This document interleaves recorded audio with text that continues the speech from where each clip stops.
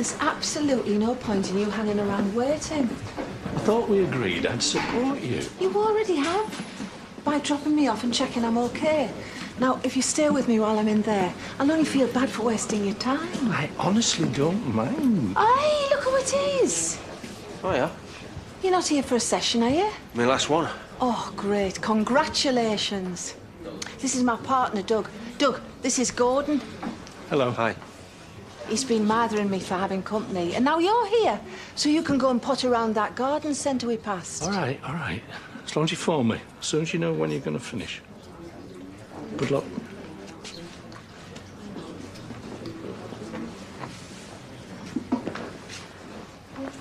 So have you been?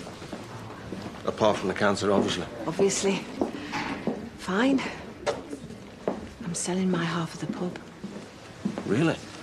Yep, seize the day and all that. Although, keep stum, because I haven't told Chas yet. Well, I was hoping to bump into you for that very same reason. Me seizing the day. Oh, yes? Yeah, ever since we talked, I thought of nothing else. I can't get Chas and Anne out of my head. So I've decided to give it a try. Getting in touch. Maybe even make another go of it. Oh, wow. That's a bit of a turnaround. I know. And I was hoping that maybe, well, you'd help me out with it all. When I said you should get in touch, I didn't mean straight away. I'm just not sure now's the right time. Look, I'm not asking you to matchmake or anything. I just want to get in contact, smooth things over. I'm not expecting miracles. That's probably for the best. Look, all I need from you is a bit of support. The odd kind word here or there. Not even a kind word, really. Just don't jump to agree when she says I'm a total waste of space. Of course, but... Chas has been through a lot recently. I'm sure you heard about the helicopter crash. Of course. I wasn't sure whether she still lived there. Was she hurt? She was shaken up. A lot of us were. But then she got involved in a dispute. She saw someone get shot. Oh, my God. It knocked her for six. Of course. She was diagnosed with post-traumatic stress. She's having treatment at the moment. Poor thing. So you can see why now might not be the best time. I can't believe it. She's always been so strong. Not that I'm saying this is, you know. Did she know the person who was shot? I... It's not really my place. Of course.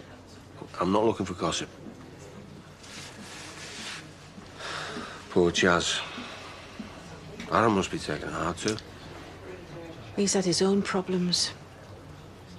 I just think it would be best to let the dust settle a bit. Let them get through Christmas. Maybe get in touch in the new year.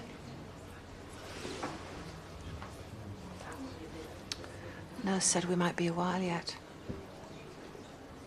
I think I'll pop down and get a paper. Do you want anything? No, I'm fine, Tom.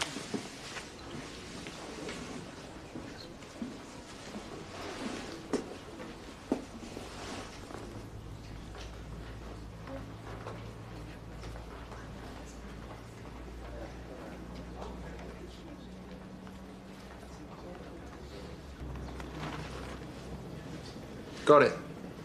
Good. Well, I would say don't be a stranger, but it sounds like that isn't what you've got in mind. Congratulations on getting through chemo with your hair intact. What can I say? It's my finest achievement. I know I wasn't the best father. I messed things up with Aaron and Chas. That's why I want to make amends. How's he been lately? I know he had some problems growing up. Well, I'm not going to lie. He's had his fair share of bother. Well, then, I should shoulder some of the blame for that. I should have been there for him. There's no point in regretting what's past. Why don't I test the waters for you? Mention your name, see how he reacts. You do that for me? Well, I'm not promising anything, but No, listen, anything you can do, that would be brilliant.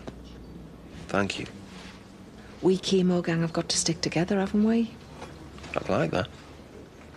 Thank you